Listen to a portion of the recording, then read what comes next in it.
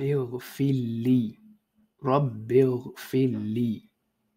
So you would say this twice or thrice, and this is something that's said while. So remember, you're prostrating twice. So once you prostrate, you say Allahu Akbar, you sit up, and in that in that position, you're saying this two times or three times, and then you go for prostration again.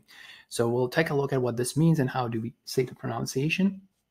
And with this, we would actually have completed one unit. So in the next episode, inshallah, God willing, I will cover, uh, you know, a recap of what the first unit or first rap looks like. So let's take a look at what this means. So this is you're asking, oh Allah, oh my Lord, and again the word Rabb, we talked about it, creator, owner, governor of affairs, sustainer, forgive me, forgive me. So this is a very important reminder of uh, seeking forgiveness and knowing that Allah is very forgiving and Allah does not expect us to be perfect. So a lot of time when I work with new Muslims, and you know, we, we all make mistakes, but sometimes we come with the attitude that look, I have to be perfect. And you know, if somebody would miss one prayer, then they would say, ah, what's the point? I just don't want to pray. Or they would commit some other sin and they would say, oh, what's the point of praying? But to realize that, look, you're not going to be perfect. It's a journey it's a journey. It's not like a one time switch. So you would always have ups and downs you would always you know fall short on something but that does not mean that you know if you fall down you have to get up. You have to rebound and take on and pick up the next thing.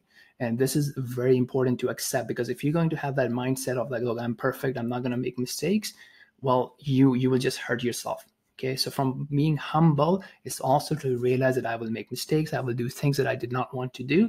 And even during the prayer, like, you know, maybe my focus would disappear, maybe I would start thinking about something. So these things help us, you know, within the prayer to ask Allah to forgive our shortcomings, to our you know uh, mistakes and our sins, and outside of the prayer as well. So always you know remembering this thing, and even outside of the prayer, if we make some mistakes, we do something that we shouldn't have done, to have this rebound ritual to you know just go back to Allah. When we make mistakes or we sin against Allah, we transgress against Allah, we don't run away from Allah, but we run to Allah and realizing that like look, He is very merciful, is very forgiving, and to ask for His forgiveness. So there are two extremes. One is like, okay, you know, you don't care and you keep making mistakes and you keep doing sins, and then you say, okay, Allah, forgive me.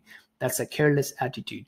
And the other one is like, you do care, but you ask Allah for forgiveness because, you know, things would happen. And that's the middle path. And you take measure to avoid that from happening in the future. You regret what has happened. And then the third extreme is that you're like, okay, you know what? If I can't be perfect, I might just give it all up. So let's be in the middle path Okay, let's take a look at the details of the pronunciation. So you have capital R here for heaviness, rob. Okay, here you have B, which is simple ba in English. And then you have a new letter. That's why I have two letters to represent that. And that's the letter that comes from the top of the throat. It's called ra, ri, ru. Okay, so that's the letter, just to give you how it sounds like. Here it would be rob, bil. Fir. Very simple, fir. Li. Okay, Li. So it's not Li, it's Li. Okay, so that's why I have two eyes. So that's it. Rabbil Fili, Rabbil Fili. Inshallah, God willing, in the next episode, I will recap the whole unit. And um, yeah, that, that will be actually next episode, I'll make a uh, episode about how do we end a prayer. And then I'll make a recap of the whole unit. And then we'll go into what's remaining. Okay.